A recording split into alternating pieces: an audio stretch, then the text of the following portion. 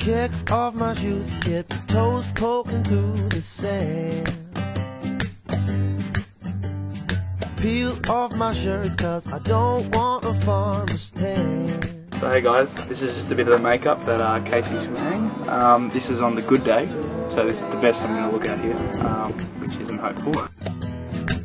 There ain't no place that I. This is a prosthetic that we've added to his eye. Um, so like a swollen eye eye bag, which is made out of um, silicone. So it should hopefully last all day.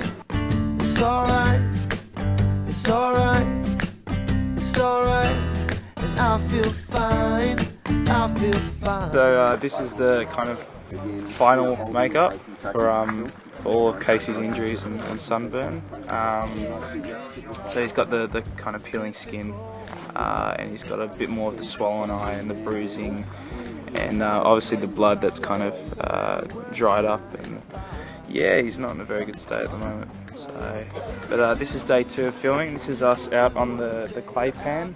We're about to go driving in the back of the ute.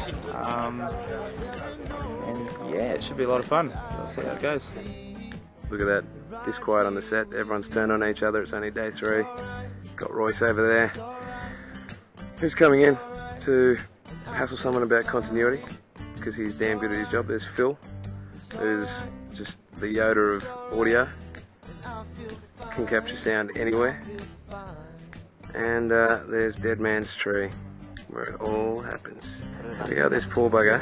He's got covered in fake blood, which is just sugar. So he's being mauled by flies all day, every day. Yeah, he's just getting punished. So good effort, young lad. And there's the Portaloo. And we tricked Kelly into thinking that was a cool room, so she hasn't been back. Um, we're standing here in our flight protectors. possibly the Kelly and I. coolest. Eh? It's what all the kids are wearing these days. Yeah, amazing. I think I just ate a fly, so my- apparently they've got good protein. Alright, it's alright.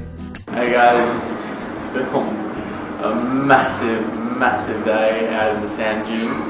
Uh, I know you're gonna love it. Can't wait for you all to see it.